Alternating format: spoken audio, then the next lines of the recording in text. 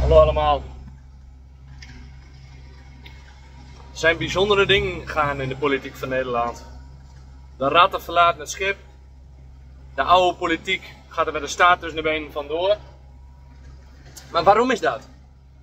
Want kijk, alles is natuurlijk met een reden. En eh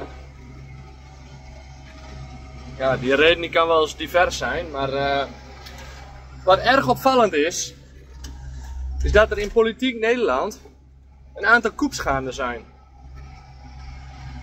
De koep van groen. En wat houdt dat nou precies in? Nou, de VVD, en dit richt ik aan alle VVD'ers, de VVD is op Europees niveau samengegaan met D66.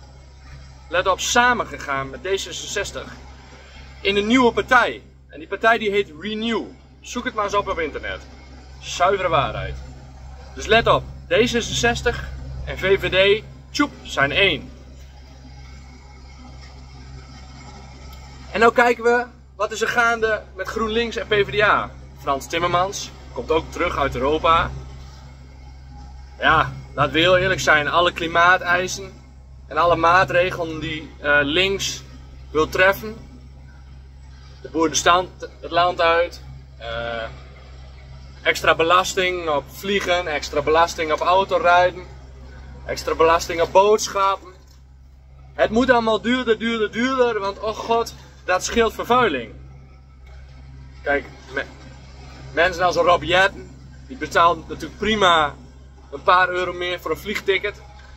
En hebben daarmee ja, hun hypocriete gevoel weer goed gepraat. Maar voor jou met een korte achternaam en voor jouw modaal, die kan dat allemaal helemaal niet betalen. Maar die hangen momenteel, momenteel al aan de lat en die hebben momenteel al bijna niks over aan het einde van de maand. Maar wat is er dus gaande? GroenLinks PvdA is helemaal niet goed voor de PvdA. Is helemaal niet goed voor de PvdA-stemmer. Dat is enkel goed voor GroenLinks. En een natte groene droom van Frans Timmermans. Dus wilden we straks als ondernemers in Nederland en ex-VVD-stemmers echt op de D66-klik stemmen? Of slaan we een nieuwe weg in? En willen we in Nederland als PvdA'ers, als het gewone volk, als de mensen die alle dagen hard werken voor hun salaris, willen we, willen die daadwerkelijk en willen we daadwerkelijk als, als die groep dat alle boodschappen duurder worden, dat de gasrekening duurder wordt, dat de energiekosten omhoog gaan.